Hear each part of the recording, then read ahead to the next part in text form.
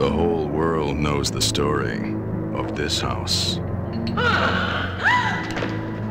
Now, its terror takes on a new dimension.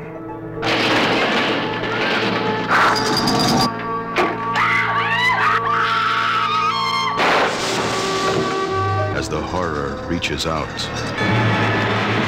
beyond the edge of the screen.